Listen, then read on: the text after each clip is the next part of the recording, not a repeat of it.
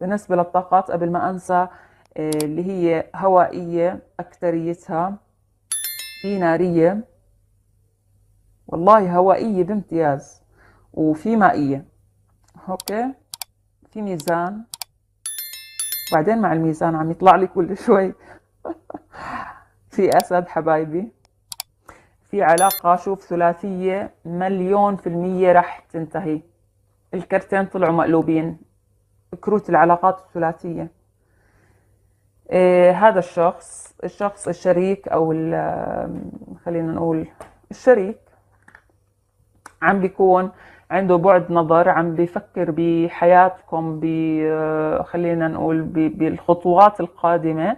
هو ما إذا كنتوا أنتم منفصلين أو كذا ما عم بفكر بصغائر الأمور بالزعل بالبلوك بهاي الأشياء الفاضية.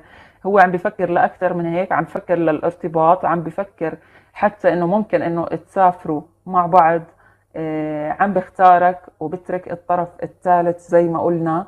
آه، عم تنتهي عندك فترة الإحباط أو الانطواء أو الصراع النفسي. آه، عم بشوف نجاح كتير. من ناحية العمل آه، نفس الشيء قلنا هذا الكارما أو الحظ رح يشتغل كمان في العمل من بعد صراعات مع أشخاص يمكن من أطراف هوائية أو مائية أو نارية. آه، على الأخص نارية ممكن تكون عم بيكون نجاح عليها أو انتصار على هدول الأشخاص. شايفة في شخص ممكن يتقرب منك إذا كنت أعزب. آه هذا الشخص آه صفاته يعني خلينا نقول آه متوسطة. بالبداية مش هداك الشخص اللي رح يعجبك لكن أنا بحكي لك إنه الشخص الجديد رح يدخل لحياتك. هاي الفترة رح تكون رح يكون خير لإلك. لأنه هاي فترة كيف بدي أقول لك إنه فترة خير بشكل عام إلك وحظك حلو في هاي الفترة. فاستغل هاي الفترة. شايفة بعض الأشخاص عم بيصير عندهم زواج أو الأشخاص المتباعدين أو اللي على علاقة آه، أو حتى المطلقين شايف لهم رجوع آه، شايفة فرحة آه، شايفة حب حقيقي عم بيتوج أو بيترسم أو بيتطور.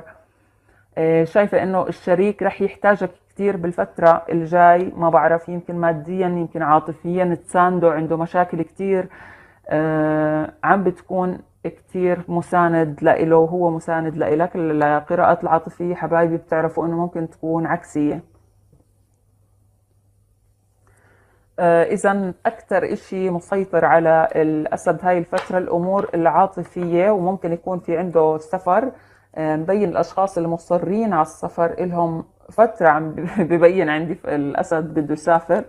ففي هاي الفترة في فرصة حلوة للسفر أو تخطيط أو مراحل آه، حلوة عم بتصير من ناحية السفر. آه، الناس اللي عندهم محاكم من برج الأسد عم بيصير في عندهم جاستس عم ياخدوا حقهم والكارما عم ترجع لهم. آه، خاصة المحاكم اللي فيها مال أو حضانة أولاد. خلينا نشوف أكثر عاطفيا. لأنه دائما بتحكوا لي بدنا شوي عاطفيا أكثر أو قراءة عاطفية منفصلة. رح أحاول إنه نعمل يعني عاطفية منفصلة. شوف حبيبي برج الأسد عم بتكون كتير مبسوط نتيجة الأمور اللي صارت. في عندك ال... يعني في في أمور آه، رح تصير أو اكشنز آه، أو أحداث في العلاقة العاطفية رح تكون كثير مبسوط عم تتفرج. عم تتفرج على إما طرف ثالث أو الانتصار على الطرف الثالث لأنه مبين عندي ذا لافرز في رجوع أكيد وفي حتى الناس اللي, اللي موجودة مع بعضها من الأصل في تطور في المشاعر خلينا نقول أو في العلاقة. آه، ولكن في طرف ثالث عم بيكون آه، مش متواجد ولكن عم بيراقب مش عاجبه هذا الطرف الثالث. آه، شايف الشريك طبعا بالعلاقات العاطفية بضلني أرجع أقول إنه ممكن تكون عكسية. الشخص أنت أو الشخص الآخر ممكن إنه يعني شايفيتكم حتى الاثنين مندفعين ناحية بعض. في نهاية لطرف ثالث. ذا لطرف ثالث مع إنه عم بيحاول بشتى الوسائل إنه ينتصر ولكن شايفه نصر بهاي الفترة على هذا الطرف الثالث. آه، المال بين عنا حتى بالقراءة العاطفية فهذا بيكون آه، في وفرة مالية حلوة كتير لبرج الأسد. النساء آه، من برج الأسد عم بشوف عملية تجميل عم بتمر على خير وعم بتكون ناجحة كتير. في مال رح يجيك إما من ترقية في العمل أو من عمل إضافي أو حتى فرصة عمل جديدة. هاي المشكلة اللي أنا قلت عنها اللي راح تصير عند الطرف الثالث وراح تنتصر عليه. فالطرف الثالث ما راح ينتهي بسهولة راح ينتهي نتيجة مشكلة كبيرة نتيجة موضوع كبير. راح ينفضح راح في أمور هو كان يعملها مبين هون أمور ممكن تكون أعمال وشغلات. آه، هو السبب كان في خذلانك بالفترة الماضية أو كان منتصر عليك والآن أنت عم تنتصر عليه. شايفة أكثر شيء آه، شايفتك منور مستشفي من الطاقات السلبية. آه، فرحان مبسوط منتصر هاي الفترة فكتير ورق حلو لبرج الأسد. إن شاء الله يا رب إنه ينطبق على أكبر عدد. خلينا نشوف إذا في تحذيرات أو شيء في هذا الورق.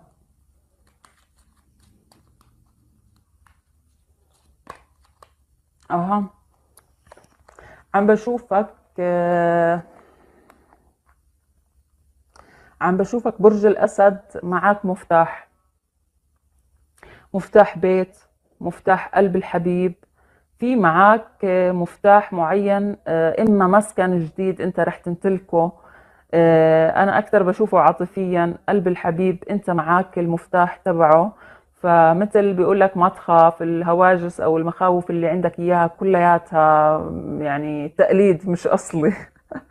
فما تخاف آه، أنت يعني القلب الحبيب معك وأنت مالكه فما يعني ما تخاف آه، من الأمور اللي عم بتصير لأنها آه، أمور مؤقتة خلينا نقول والحبيب شفته بالورق عم بتغير عم بيحاول إنه يوازن فلا شايفة إنه الأمور العاطفية على أتم وجه. كمان بالعمل الورق كان حلو كان في انتصار فنكون متفائلين هاي الفترة لأنه الأسد له فترة وهو سوداوي شوي أو متشائم خلينا نقول ومعاه حق. يعني هو من بداية السنة كانت تصير معاه شغلات شوي متعبة طعنات من أشخاص. آه سيلف وورث بقول لك حب حالك يا حبيبي. بقول لك أنت بتستحق الأفضل. أنت بتستحق أفضل ما أنت آه عليه. يعني آه فأعطي لحالك قيمة. اهتم بحالك أكثر من جوا أنا عم بقول. من برا طبعا الأسد معروف بالتألق والأناقة والكذا.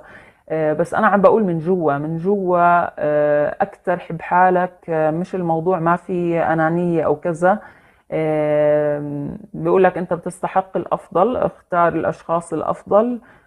استغني عن الأشخاص اللي مش اللي هم سامين في حياتك. فحاول تكون عقلاني شوي بكفي آه، يعني نفكر كتير بقلبنا وننسى موضوع العقل. عفوا. آه.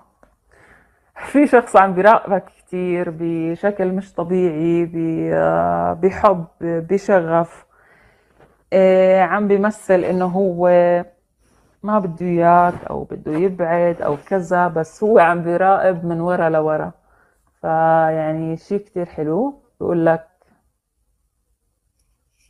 بقول لك إن هون إنه كثير أنت قوي وراح تكون قوي في الفترة الجاية راح تكون الأمور آه، زمامها في إيدك أنت مش على العكس زي ما كانت آه، ب